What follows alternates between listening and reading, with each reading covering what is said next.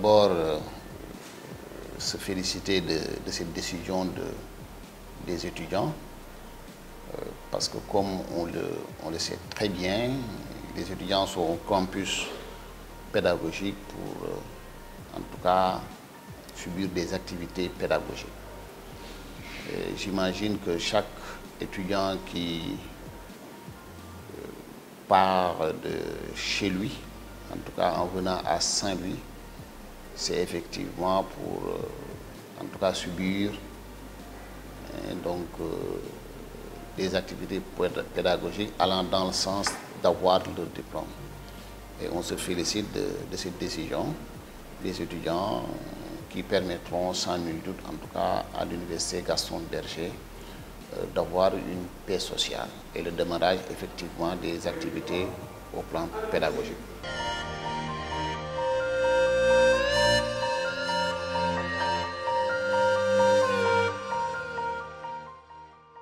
L'assainissement s'est nettement amélioré quand même hein. euh, depuis euh, le mois de, juin dernier en tout cas. Le COUS a eu à acquérir trois nouvelles pompes au niveau des trois stations de pompage que, en tout cas, compte le, le dispositif.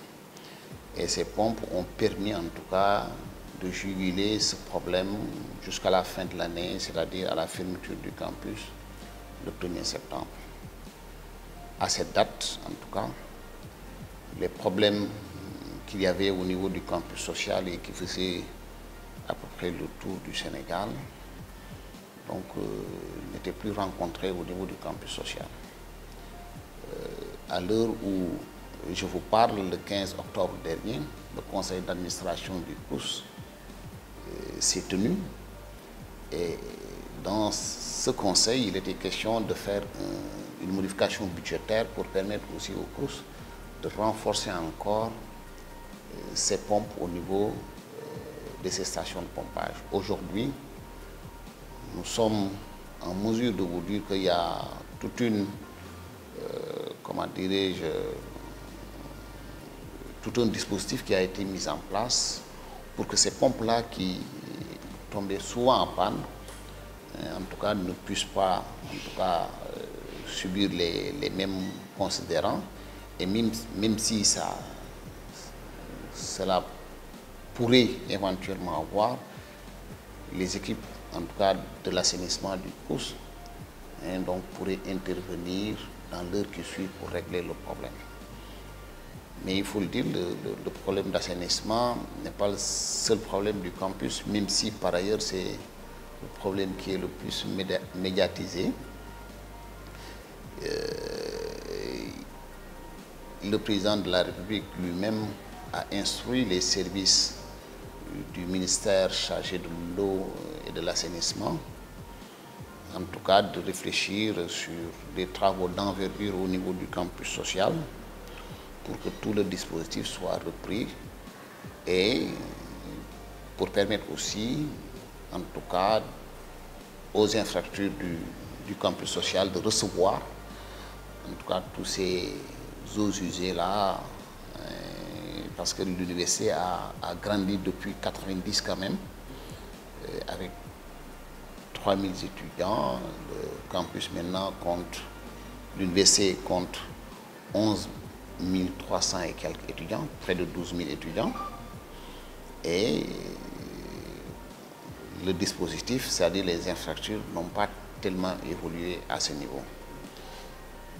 Et je pense que ce sera la solution définitive, mais en attendant, les équipes du Centre régional des œuvres universitaires de Saint-Louis travaillent d'arrache-pied pour qu'en tout cas ce problème soit maîtrisé le plus rapidement si des dysfonctionnements seraient notés.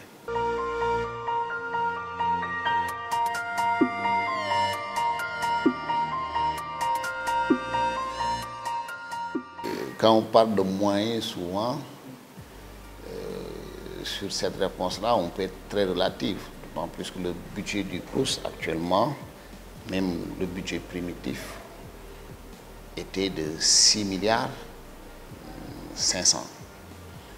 Après la modification budgétaire, on est à 7 milliards 300. On voit nettement que le budget du CRUS évolue. Et l'État du Sénégal quand même fait d'énormes efforts pour que le CRUS puisse prendre en charge hein, donc, les œuvres sociales destinées aux étudiants. Mais c'est le chantier qui est grand. Quand on parle d'œuvres sociales, quand on parle de social, le Sénégal est un pays à 80% ou bien à 90%. Et donc, en tout cas, on est dans un pays social. Hein, donc, euh, c'est notre culture.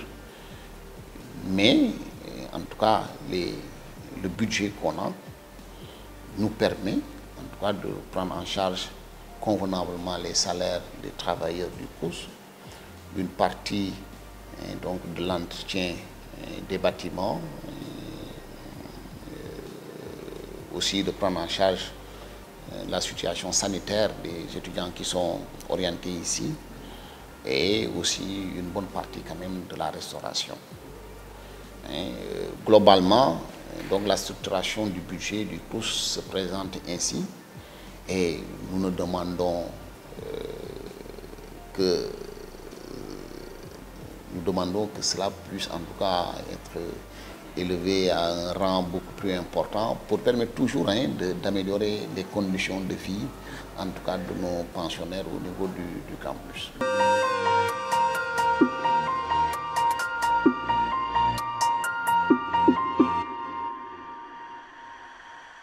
C'est notre souhait le, plus cher.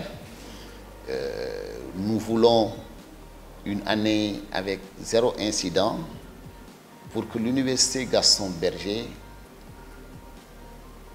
en tout cas, puisse se faire connaître autrement que par les perturbations.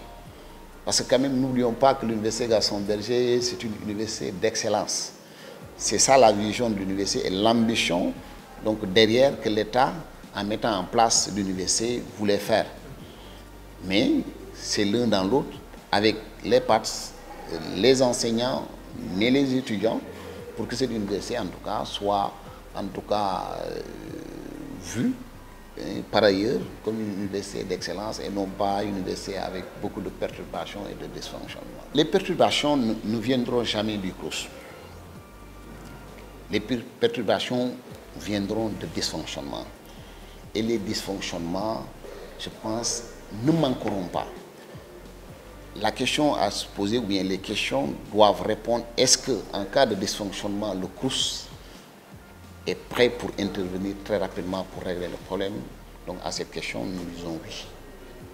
Et donc euh, nous sommes bien préparés pour à chaque fois qu'il y a un problème, donc dans un campus social qui doit accueillir 4000 étudiants et qui en accueille 11 000, hein, donc quand il y a problème, donc euh, les techniciens du CRUS seront toujours prêts à faire leur travail. Ce que je demande seulement aux, étudiants, c'est d'être patients, mais aussi en tout cas de laisser hein, les travailleurs du CRUS hein, de faire normalement le travail dans la sécurité, dans la quiétude. Parce qu'un travailleur aussi qui laisse sa famille chez lui, qui ne travaille pas la tête tranquille, en tout cas, n'est pas en tout cas, efficace à 100%.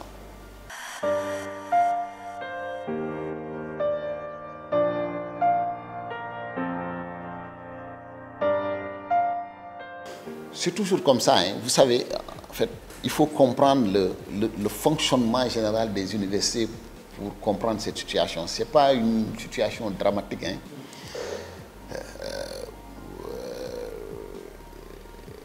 À l'université, nous logeons près de 4000 étudiants. C'est notre capacité d'accueil.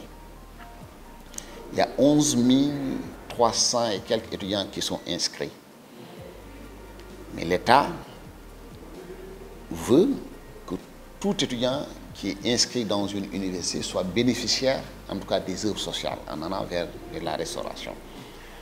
Forcément, donc le budget de la restauration doit couvrir non pas les 4 000 étudiants, mais les 11 000 étudiants. il y a un taux de fréquentation journalier de 7000 étudiants à peu près, hein, journaliers, hein, donc, qui, utilisent les restaurants. Et plus maintenant les journées sans ticket, c'est-à-dire que quand les étudiants, pour oui ou pour non, hein, donc décrètent une journée sans ticket, c'est-à-dire aller dans les restaurants sans payer, forcément il y a un gap. Forcément. Parce que les recettes, en tout cas de, du, du sont issues de la subvention de l'État, mais aussi, en tout cas, euh, des recettes internes, c'est-à-dire les tickets de restaurant qu'on vend aux étudiants, le loyer des étudiants et donc les euh, locations qu'on fait au niveau des, des, conteneurs. Et tout cela est reversé donc, dans le budget pour prendre en charge les étudiants. Si l'étudiant fait une journée ticket, c'est un manque à gagner au cours. Si, le, si les recettes chutent, forcément la prise en charge des étudiants hein, va en tout cas euh, subir en tout cas des aspects négatifs à ce niveau. Donc forcément, donc sur les, points de revendication, sur les moyens utilisés pour revendiquer au niveau du campus social, en tout cas, euh, voilà, en tout cas, c'est pas la bonne méthode. Parce qu'en tout cas, on ne peut pas dépenser ce qu'on n'a pas. Et le CRUS ne dépensera jamais ce qu'il n'a pas. L'autre aspect, c'est que au niveau des, des restaurants universitaires, ce n'est pas le CRUS qui les gère. Donc, c'est un choix aussi. Donc, c'est un privé qui vient par appel d'offres, qui, euh, qui gagne le marché. Et par rapport à cela, donc, avec des repas subventionnés, on paye le repreneur quoi qu'il en soit. Même s'il y a journée sans ticket, le repreneur ne perdra pas un, un rond. Et ce sont ces aspects combinés qui font que les recettes donc du CRUS, les recettes prévisionnelles, ne peuvent jamais être atteintes et de surcroît ne peuvent pas couvrir toutes les charges donc, du CRUS. Mais quand même, il y a des efforts aussi à faire donc, euh, pour que le, euh, le budget général du CRUS, en tout cas, puisse être revu à la hausse par euh, l'État du Sénégal pour que, en tout cas, ne serait-ce que pour la restauration, hein, que euh, qu'on ait un budget annuel donc, euh, qui reflète en tout cas la sincérité de la vie des étudiants au sein du, campus social.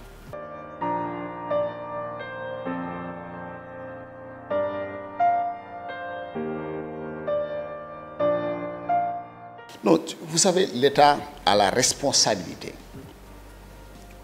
a la responsabilité et le devoir de mettre les Sénégalais de surcroît qui ont le bac dans des conditions de continuer leurs études. C'est la responsabilité de l'État. On n'a jamais posé la question sur les capacités d'accueil de l'université jusqu'à présent. Jusqu'à présent, hein, je vous ai dit que l'université a été construite pour une capacité d'accueil de 5 000 étudiants. On est à 11, près de 12 000 étudiants. Et pourtant, moi qui vous parle, je suis sorti de cette université. J'ai réussi. D'autres personnes ont réussi mieux que moi en étant dans cette université. Donc ce n'est pas le nombre qui, qui importe. Quand on parle du social, je veux dire, parce que le cours gère l'aspect social, surtout concernant l'hébergement. 5000 étudiants de plus, on a près de 12 000 étudiants au niveau de l'université Gaston Berger. D'ici le mois de décembre, mois de janvier, le cours va réceptionner 2000 lits supplémentaires. Ça fait plus de 50% donc, de ses capacités, parce que le cours avait 4, 4 000, près de 4 000 lits, plus 2000, ça fait 6 000. Normalement, mathématiquement, on devrait orienter 6 000 étudiants. sur les conditions de vie? Voilà. Attendez, je, je viens. Je viens. En parlant des capacités d'accueil, je dis. Parce que dans aucune université, même dans les pays développés, tous les étudiants ne sont pas logés. Ce n'est pas un droit. Maintenant, un étudiant qui est orienté au niveau de l'université Garçon c'est pour suivre des cours. C'est vraiment l'essence même de l'université. C'est de transmettre le savoir. Les, les questions doivent être orientées à ce niveau. Est-ce qu'on a assez de professeurs? Est-ce qu'on a assez de bâtiments pour que les étudiants qui viendront faire cours puissent faire cours convenablement? Mais est-ce que réellement, Ayant- vous demandez, ça existe au niveau de l'université Gaston Est-ce que réellement ce cette problématique que vous posez existe au niveau le, de le, le CRUS, peut-être il faut en parler au, au- au volet pédagogique. Oui. Moi, je gère le, le volet social. Mais en fait, c'est une question d'approche. Je ne veux pas que, quand même, dans l'analyse qu'on fait de l'orientation des bacheliers au niveau des universités sénégalaises, qu'on se trompe d'approche sur l'analyse. Maintenant, sur les 5000 étudiants qui viendront, les mesures d'accompagnement qui concerneront le cours, peut-être c'est sur le volet restauration de ces étudiants. Parce que c'est un droit. Sur l'accompagnement, sur le volet sanitaire, c'est un droit. Mais ça ne peut pas être posé sur la question de l'hébergement. Est-ce que le COUS est prêt pour accueillir ces 5 bacheliers En plus du nombre qui est là. Nous ne sommes pas chargés d'accueillir les 5000 étudiants, encore une fois. C'est pourquoi j'insiste. Nous ne sommes pas chargés d'accueillir les 5000 étudiants. Nous avons 4000 lits, nous allons recevoir 2000 lits. Notre capacité d'accueil est augmentée de 50%. Et c'est sur la base de ces 50% qu'on va accueillir, sur les 6000 lits. Donc que le cours est en mesure de prendre en charge. C'est ça. 6 000 sur 15 000, on a un beau ratio quand on parle d'université, de capacité d'accueil en termes d'hébergement. On parle de cela. On est dans un bon ratio. On est mieux placé que beaucoup d'universités à ce niveau. Maintenant, euh, sur euh, le, le- le- le volet pédagogique, hein, il faut que quand même que ces étudiants qui viennent au niveau de l'université puissent trouver, en tout cas, euh, des mesures d'accompagnement dans le sens de leur permettre de faire leur cours convenablement. Et je pense que le ministre, quand il était venu au niveau de l'université Gaston Berger, donc il a promis d'achever en tout cas les bâtiments qui étaient en chantier au niveau du, du rectorat.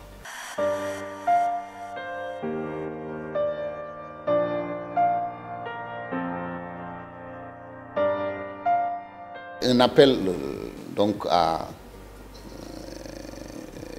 à la paix, à la sérénité surtout, Euh, parce que quand même l'université Gaston Berger, comme, comme, comme je l'ai dit au début de notre entretien, et en tant qu'alumni de, cette université, ce serait vraiment regrettable qu'on ne retienne de l'université Gaston Berger que cet aspect, en tout cas, de tension, de grève, de revendication. À l'université Gaston Berger, ce sont des, des professeurs de haute facture qui sont, hein, donc, euh, euh, qui sont, qui sont là-bas, qui sont en train de, donner le savoir. Ce sont des étudiants hein, donc, euh, sélectionnés parmi les meilleurs donc, euh, au niveau du Sénégal. Euh, et dans l'historique même euh, donc, des alumni de l'université Gaston Berger, quand même, il y a de hautes personnalités de ce pays actuellement hein, qui ont la fierté de dire que je viens de l'université Gaston Berger. Et ça, c'est un patrimoine. Et ce patrimoine-là, cette génération a le devoir de sauvegarder ce patrimoine pour les générations futures, comme les générations antérieures l'ont fait pour elles aussi. Et je lance aussi un appel, euh, bien sûr, euh, à, mes collaborateurs du, du, CROUS d'être très attentifs. donc, devant les, les grèves que rencontrent les étudiants. Parce que nous sommes dans un secteur bien déterminé qui est le social, et qui dit social dit écoute. Hein, dit beaucoup de choses. Il faut avoir cette grandeur de cœur, en tout cas pour savoir que celui qui est devant nous, c'est notre jeune frère. Parfois, c'est notre enfant. Et nous sommes malheureusement, ou bien heureusement, les, les, parents de ces, de ces étudiants. Hein, parce que c'est ce rôle qu'on a au niveau du campus social. Et je pense que quand on a cette attitude l'un dans l'autre avec les étudiants, donc on aura un cadre de vie meilleur et on passera une année de calme et de paix au niveau du campus social. En tout cas, c'est ce que je souhaite.